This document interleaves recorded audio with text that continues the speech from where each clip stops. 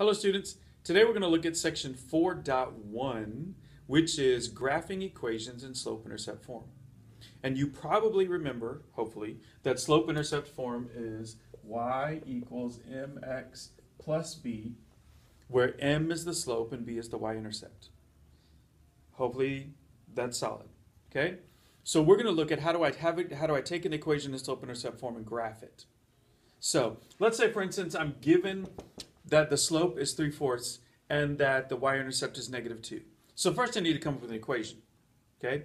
So if my slope is 3 fourths and my uh, y-intercept is negative 2, then I can just plug in the m and b in the equation and I get uh, y equals 3 fourths x, because 3 fourths is m, minus 2, because b is negative 2. So now I can take this equation and I can graph it based on the information I'm given. I know that my slope is 3 fourths, and I know that my y-intercept is negative 2. So I always start with my y-intercept. And I'm going to use a red marker on this paper, and I'm going to graph this one in red. So I'm going to start with my y-intercept is negative 2. So on the y-axis, I go to negative 2, and that is the first point on my line. Okay? That's where I'm going to start. Now, if you have an opportunity to graph this in your composition book, great. If not, you can just watch, and I know you're going to pick up pretty quickly. I'm fine with either way. So I know that's my first point because it's the y-intercept. It's where the line crosses the y-axis. It's at negative 2. Now I'm going to use my slope and use the concept of slope. Now you remember that slope is also rise over run.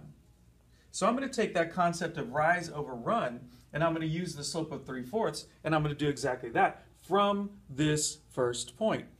So it tells me I need to rise 3 because that's part of the slope. So I'm going to go up 3. 1, 2, 3. And I'm going to run 4 because it's the slope. 1, 2, 3, 4. And I got it right, right there. Now I'm going to show you that with loops. I know I have to rise 3. 1, 2, 3. And then I run 4. 1, 2, 3, 4 and that's the second point on my line. Now, you remember though, when we graph lines, we have to have at least three points. Okay? So I have a choice. I could take this point, and I could rise and run from that point if I wanted to. So I'm going to do that actually. So I'm going to rise three, one, two, three, and I'm going to run four, one, two, three, four, and there's a third point on my line. It's important to notice notice that 3 was positive and 4 was positive. So that's why I went up and to the right, because both of those were positive. Now here's something uh, a little uh, tricky. What if I want to go from this point and make another point on my line from my original y-intercept? But then you're saying, Mr. Choins, I've already gone up. But right, you can go down. Because remember that 3 over 4 is exactly the same as negative 3 over negative 4. Because negative divided by negative is positive, so they're still the same things. So I could go down 3 and to the left 4, and I'm still okay. Let's see and make sure. Okay? So let's try. Let's go down 3. 1, 2, 3. Let's go to the left 4. 1, 2, 3, 4. Does that fit with my line? Absolutely. So, I can go up and to the right or down and to the left when I have a positive slope. So let's draw the line. I always want to use a ruler. And I've got this gargantuan yardstick. And hopefully this point will go all the way through. And I put arrows on each end.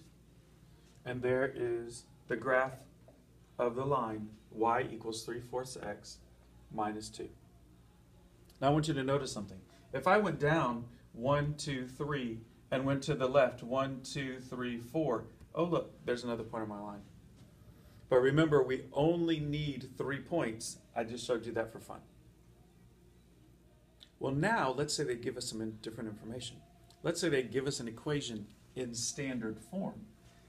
3x plus 2y equals 6. And they want us to graph this. Well, if the whole concept is being slope-intercept form, then I need to change my standard form to slope-intercept form. You'll notice that slope-intercept form starts with y equals, so I've got to solve this equation for y.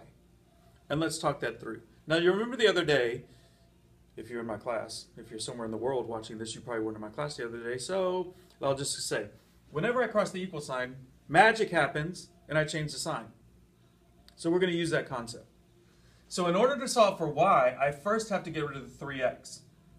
Now I can subtract 3x from both sides, and I got that, or I can just move the 3x to the other side, and when I move the 3x to the other side, it becomes negative 3x. So I have 2y equals negative 3x plus 6. Yes, there's a reason that I put the negative 3x plus the negative 3x first, and then the plus 6, because I want it to be in y equals mx plus b form. Just makes it easier that way. So now that I have y, 2y equals negative 3x plus 6, I've got to get y by itself, and that means I have to divide by 2 on both sides. So I have to divide everything by 2. Everything by 2. So 2y divided by 2 is y, which is exactly what I want. I need to get y by itself. And then negative 3 over 2x, I'm not going to change it to a decimal. I'm going to leave it as negative 3 over 2 x. Because I need a rise and a run in order to graph. And then 6 divided by 2 is 3, so I'm going to do plus 3. Now I have my equation in slope-intercept form. And now I get to graph it. I'm going to use a green marker this time, and I'm going to graph it on the exact same chart. But hopefully the green marker will differentiate. Okay? So I need to pick out some things. I know that m, my slope, is negative 3 over 2x. And I'm going to move that negative to its proper place, which is right there. And I know that b is 3.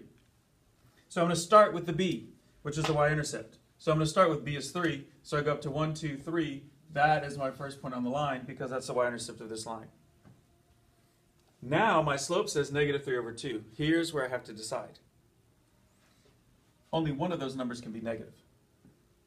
I can make that, and I'm going to scoot down here just a little bit.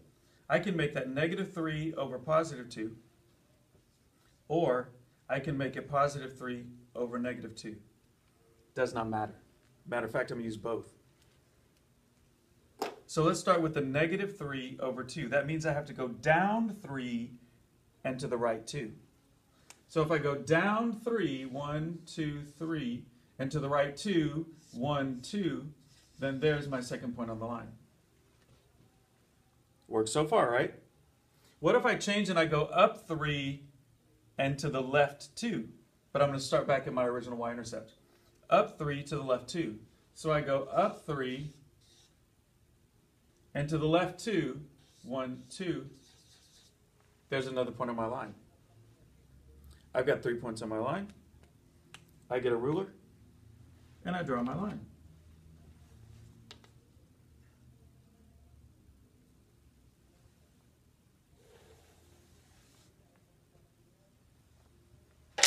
I remember to put arrows on each end.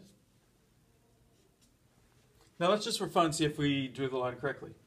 So I could go up three and to the left two, and there's another point on my line. Or I could go down three and to the right two, and there's another point on my line. It works. You got to get into your head that when I've got a negative slope, only one of the numbers can be negative. You choose. Again, your choice. Mark. And here are your practice problems for this video. It says rewrite the equations in slope-intercept form.